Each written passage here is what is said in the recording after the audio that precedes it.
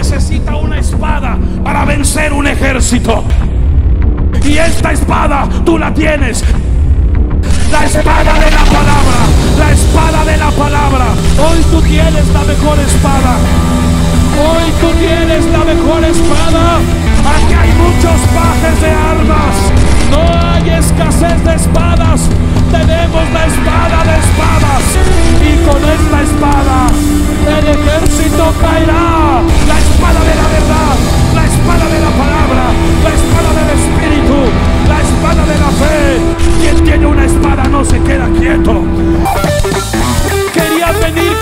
padre, querían venir contra tu madre, querían venir contra tus hermanos, querían venir contra tu iglesia, querían venir contra Argentina, pero van a encontrarse contigo.